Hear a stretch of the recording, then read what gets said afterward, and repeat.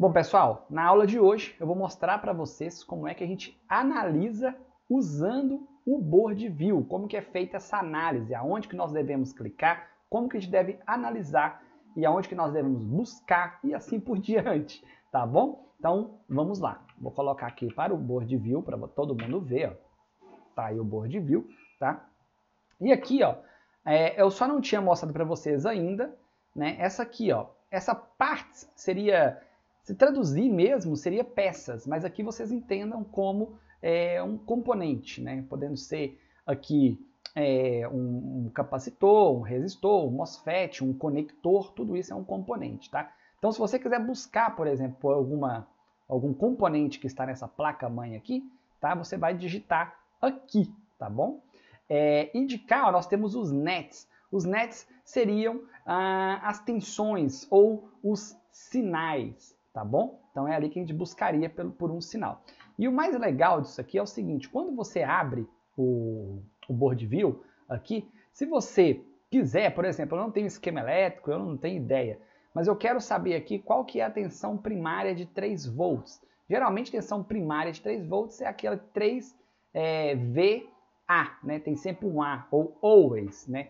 Só que eu não sei aonde que eu vou encontrar isso aqui. Então, o que, que você pode fazer? Você pode clicar aqui, ó, e aqui já vai te dar todas as tensões com seus devidos nomes, tá? Então aqui eu tenho, ó, aqui ó, mais 3VA, tá vendo? Então eu tenho aqui essa tensão, ó. Se eu marcar ele, se eu clicar ele, clicar nele, ele vai me mostrar aqui aonde que essa tensão passa em cada um dos componentes, tá? Eu sei que está um pouco distante aí agora, mas calma que eu vou dar um zoom, ó. Então aqui aonde ficou amarelo é onde essa tensão passa, olha só. A tensão de mais 3VA, ela vem nesse componente aqui, ó, que é um resistor, é o resistor 5701. Ela vem também nesse outro resistor, 5723, desse lado da placa, né? Ela vem aqui nesse, o que, que é isso? Nesse aqui é um PSL, que é uma PL, na verdade, né? Então ela vem aqui, ó, nessa PL também, tá? É, de cá, e aqui também eu vi que marcou, ó, marcou aqui também, ó. Olha só, ele vem nesse jumper aqui, ó, no J68, pode ser um conector. Na verdade, ele é um conector, perdão, é um conector, tá? E ele vem aqui também nesse aqui, ó, que é um capacitor 68, tá vendo? Então, de cá eu vi todos, né? Então, se eu quiser agora olhar do outro lado da placa, ó, eu vou ali e vejo onde está amarelo. Vocês estão vendo aqui o amarelo? Então, aqui eu sei onde que está todos os 3 VA dessa placa, o mais 3 VA, eu consigo identificar. Tá? Se eu quisesse buscar por um componente em específico, tá? eu vou apagar aqui agora o mais 3VA e vou buscar por um componente em específico. Ah, e você pode estar querendo saber o que, que significa essa lâmpada. Isso aqui, pessoal, é o mesmo que eu apertar aqui ó, o Ctrl, ou o mesmo que eu apertar a tecla H. Né? Lembra lá que eu tinha avisado? Que aí vai ficar o highlight aqui dos nomes. Tá? Basicamente é isso.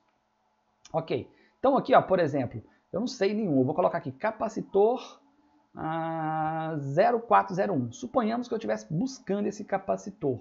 Ó, capacitor 0401, tá? E aí, o que, que ele encontrou para mim no momento? Nada. É isso aqui que eu queria mostrar mesmo, tá? Quando você for buscar algum componente em específico, o que eu aconselho você a fazer é o seguinte, ó, você vai fazer o seguinte, você vai é, dar um zoom, dar um zoom assim, e aí você vem aqui ó, e busca o componente que você quer. Porque quando você está mais próximo, com a tela mais no zoom, ele leva direto. Quando você está desse jeito aqui, ele vai só brilhar e de repente, de repente, quando ele brilha aqui, você não consegue encontrar. Por exemplo, vamos ver aqui, ó, esse capacitor 0649. Ó, ele movimentou, eu sei que está mais ou menos nessa região, só que eu não vi. Provavelmente, como ele movimentou e está mais ou menos nessa região, ele deve estar do outro lado da placa, porque aqui já tem dos dois lados, tá? Mas eu não sei, deixa eu ver se é isso mesmo. Não, na verdade ele está aqui, ó. Tá vendo como é que você se engana? Por isso que eu não gosto de usar assim e fazer uma busca. Vamos fazer uma outra busca agora da forma que eu gosto. Eu venho aqui, dou um zoom, tá? E aqui, ó, eu venho e coloco, ó, capacitor 1322. Ele já me levou e já está aqui, ó. Eu consigo ver na tela aonde que ele está. Quando eu dou o zoom, fica mais fácil de eu encontrar, ele já me leva direto. Capacitor 1421, já me levou. Se tivesse do outro lado da placa, vamos tentar achar um do outro lado da placa. 1802, eu não sei. Hein? Não é possível que a gente vai ter que ir lá do outro lado para poder olhar um. Deixa eu virar aqui rapidinho. Vamos achar o PJP8302, tá? Tá, tá? Agora, nesse momento, ele está do outro lado da, da placa. PJ, PJP8302 e 302, já até esqueci. 80 8302, acho que era esse. Ó, ele trouxe para cá. Pera aí. Calma. PJP 8302. Deixa eu colocar ela de novo. 8302. Ah, bacana, esse aqui está funcionando. Geralmente não faz isso aqui, tá, pessoal? Geralmente quando eu busco, já aconteceu comigo. Deixa eu tentar de novo. PJ ele fica só no rumo, mas aí você tem que vir aqui e clicar no bottom, tá? Você tem que mudar. Então, por exemplo, PJ, que eu sei que, ó, aqui está no momento usando o top, e eu vou procurar por aquele PJ P8301, né? Que é aquele que a gente sabe que está do outro lado da placa. Vamos ver. E aqui ele já passou automático, ó para o bottom. Engraçado isso, porque tem alguns que não fazem isso não. Tem alguns que fazem o seguinte, ele vai ficar mais ou menos nessa região, e aí você tem que vir aqui e apertar, para você mudar de lado, para você ver ele, tá? Então já fique ciente que em alguns casos vai acontecer isso. Aqui foi até, eu fiquei até impressionado aqui agora, porque geralmente não é assim, tá? Mas bacana, então ele faz a pesquisa, ele busca, né? Ele busca qualquer componente, e como você está mais próximo da placa, ele vai e leva para você, fica bem mais fácil de você conseguir encontrar um determinado componente. Legal. Então vamos supor, eu cheguei aqui nesse componente aqui, esse aqui é um PR6005, tá? Eu vou clicar, ó, dentro dele você pode clicar é, no pino que você queira, ou do lado que você queira. Eu quero clicar do lado 1 aqui, ó. Aqui do lado 1, olha que interessante, ele me dá aqui do lado direito, ele me dá as informações do resistor. Então ele é um resistor de 2.2 ohms, tá vendo aqui, ó? Beleza? E ele me dá aqui as informações também, ó. Ele tá, aonde eu cliquei aqui, ele está passando essa, esse nome aqui, essa nomenclatura de sinal ou de tensão, né? Então é A barra D DOC IN, tá? E do outro lado ele me dá um outro nome totalmente estranho, N46883365. Eu posso tanto clicar aqui como eu posso clicar usando aqui também, ó, tá? Olha só, tá vendo lá? Legal, ele está marcado, né? Então aqui, ó, eu vou tirar um pouco o zoom usando o scroll e eu consigo ver aonde que ele vai, ó. Aonde tem um ponto marcado aqui, ó, é aonde passa essa tensão de A barra D dock in. Então essa tensão, ou esse sinal, vamos falar que é o sinal, né? Ele vem aqui, ó, ele passa em todos esses componentes aqui, ó. Olha, olha onde mais que ele vai, ó. Ele vem até aqui, ó. Tá vendo? Ele vai lá, ele vai aqui. Então ele já me mostra exatamente os componentes que ele passa, tá? Vamos ver se do outro lado da placa também ele passa. Ó, eu vou virar para cá e vamos ver se aqui também tem algum. E tem, olha só onde que ele vem. Ele vem aqui nesse componente, ó. Ele vem aqui nesse diodo duplo, ó. É o PD8802, é o mesmo sinal, pessoal. Vocês querem ver, ó? A barra D doc in. Eu vou marcar ele aqui a barra D doc in. é muito bacana isso, facilita demais. Às vezes facilita mais do que o próprio esquema elétrico. Por quê? Porque daí você já consegue até visualizar onde que está passando, né? Vamos olhar mais alguma outra tensão aqui, ó.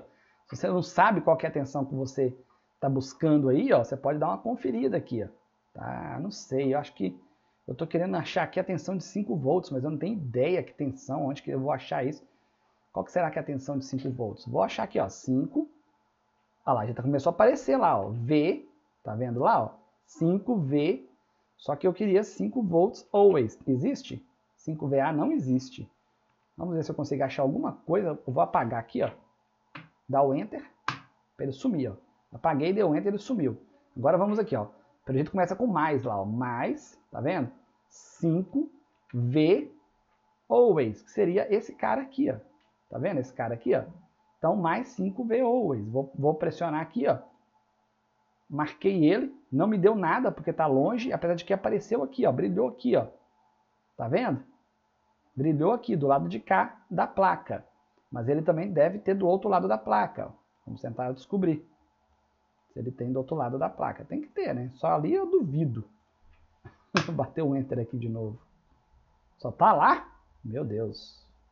Vamos virar aqui de novo e vamos ver aqui o que, que acontece. Por que, que ele tem só esse nome? Olha lá o porquê, é o que, que acontece. Ele está com o nome de mais 5 nessa PL aqui, ó. Ele recebe o nome de mais 5 VA e aqui mesmo ele já faz a transferência de nome. Então é por isso, ó, ele se transforma em mais 5 VAO. Então aqui, ó, ele se transforma em mais 5 VAO e aqui ele é o mais 5 VA, tá vendo? Então ele só criou esse nome aqui. E ele só alimenta esses dois pontos aqui como mais 5 VA. Tá vendo? Você não consegue ver mais nada que está brilhando aí. Ó. Olha aí, não tem mais nada brilhando, tá? Uma outra coisa muito interessante que eu gosto de fazer, eu vou mostrar para vocês, então aqui, ó, mais 5 VA, O, né, que está aqui com esse PWM, deve ser o PWM primário, talvez seja, tá? Vamos mudar para cá. E do lado de cá também eu não tenho mais tensão do mais 5 VAO. Eu só tenho esse mais 5 VAO aqui, tá? Então provavelmente deve mudar de nome também, assim por diante. Mas uma coisa que eu acho muito interessante fazer é isso aqui, ó. É, quer ver, ó? A gente consegue ver de ponto a ponto aonde que está ligado. Então, por exemplo, eu vou vir aqui, ó, tá? Vou clicar nesse cara aqui. Esse cara aqui, ele é, deixa eu ver se ele é o processador. Não, ele é o, né, ele é a PCH. Achei que fosse tudo junto, mas não é não, ele é a PCH mesmo, tá? Então ele está aqui, ó, tá mostrando aqui que ele tem um BGA de 989 esferas, né? Ele é o Panther Point HM76, ele é o chipset, tá? É o SLJ8SC1, tá? E aqui, ó, vocês vão ver que tem os contatos aqui, os pinos, cada um com seus devidos nomes e tudo mais. Então, por exemplo, se eu quiser saber aqui qual que é o pino que está ligado ao setor LVDS, eu marco aqui, ó, tá vendo? E aqui ele me mostra, ó, essa soldinha aqui, ó, é a solda que está ligado ao setor LVDS. E aqui, ó, vamos ver se ele vai para algum outro lugar. Ó, aqui já não brilhou em mais lugar nenhum, esse sinal. Vamos ver se ele, se ele vai para algum outro lugar, hein? E olha só. Então, esse, esse sinal, eu consigo medir ele aqui, ó. Porque, claro que por baixo do chipset não tem como. Mas aqui eu já consigo medir ele, ó, esse mesmo sinal, ó. Lá nessa, nessa bobina, nesse, nesse indutor aqui. Tá vendo? Então aqui eu já consigo medir para ver se tem um sinal ou se não tem com o osciloscópio. Não é bacana isso? Então, ou seja, você consegue é, saber exatamente aonde que está indo aquele sinal, para onde que vai, para onde da, da, onde que veio, ó, portas USBs. Tá vendo? Ó, tem essa porta USB aqui, ó. Ele está marcando esse cara aqui, tá? Beleza, então está marcando esse cara aqui. E aí vamos ver para onde que ele vai. Vamos dar uma olhada. Aqui não, veio, não vi nada do lado de cá. E do outro lado, olha só onde que ele está aqui, ó. Ele está nesse conector e está vindo aqui, ó. Tá? Então ele está nesse conectorzinho aqui, ó. E é assim que vocês vão, vão olhando, é assim que vocês vão é, analisando. Vamos ver se a gente acha o DC Jack. DC, eu não tenho como nome de DC Jack. Vamos ver essa placa aqui, onde que está o DC Jack. Será que a gente vai encontrar, hein? Será que é esses conectores aqui? Não, esse aqui é o conector da bateria. Mas deve estar bem próximo. Esse aqui é do speaker. Esse aqui é do teclado, claro. Pode ser que esteja do outro lado da placa, hein? E esse? Esse aqui é o da fan, tá? Esse aqui é o do cooler. Esse. Esse é o lead, esse aqui é da tela. Esse aqui não é nada. Vamos lá do outro lado. Vamos ver esse. Esse daqui, eu não sei do que, que se trata. Vamos para outro aqui. Esse daqui é do SATA. Esse daqui também é outro SATA, deve ser um, deve ser do... Olha só, o GND é onde que está na placa, tá vendo? Por isso que brilha desse jeito. Né? Vamos ver esse. Esse aqui também não é. Será que eu não vou achar, meu Deus? Quero a entrada, 19 volts. Não estou achando. Então eu vou vir cá e vou procurar pelos 19 volts. Geralmente VCC-IN, né? Ou VI, VIN. Não tem nada de VIN. Então VCC. Também não tem. Vamos ver aqui. É, eu não acho o conector desse jack aqui. Queria achar logo a entrada.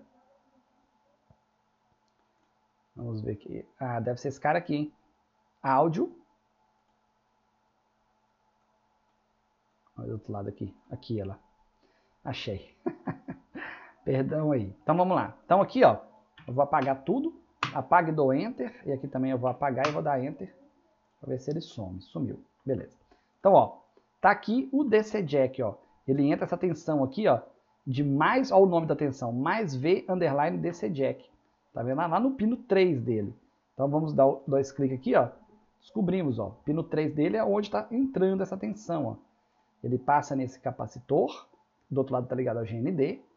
Aí ele vem aqui, ó. Ele vai vir nessa PL. Tá vendo lá, ó? E aqui ele vai brilhando pra gente onde que ele passa, ó. Ó, tá vendo aí? Ó? Essa é a tensão de entrada. Do lado de cá ele passa para algum lugar? Nada. Então agora, eu sei que naqueles MOSFETs, né? Ele vai, provavelmente ele vai se transformar em outro nome, que ele passa na PL. Aqui ele já passa como AD Dock In. Lembra do AD Dock In que a gente já tinha visto? Então é 19 volts naquele lá, né?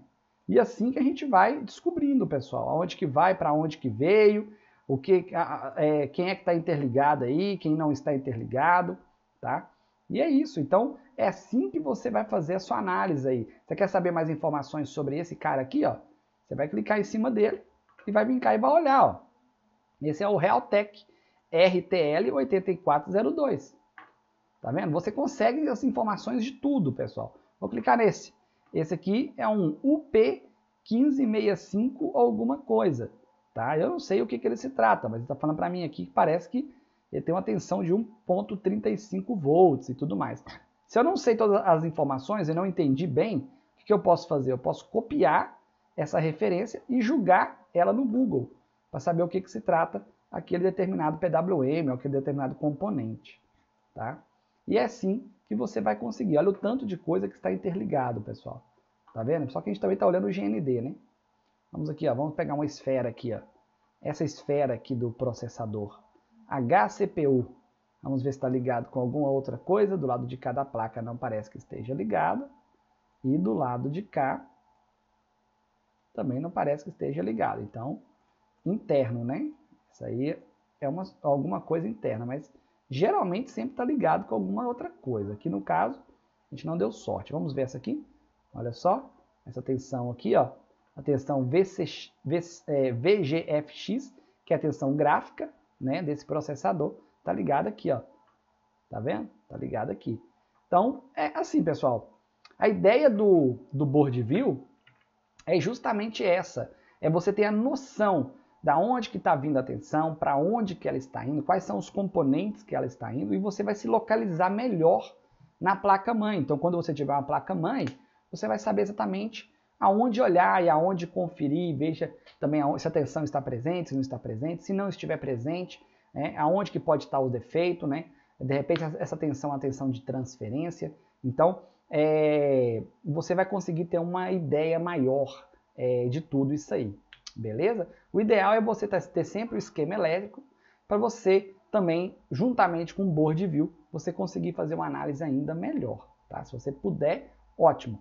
Mas já aviso que não é todas é, as placas que você, não são todas as placas que você vai conseguir board view, tá? Infelizmente ainda é muito pouco.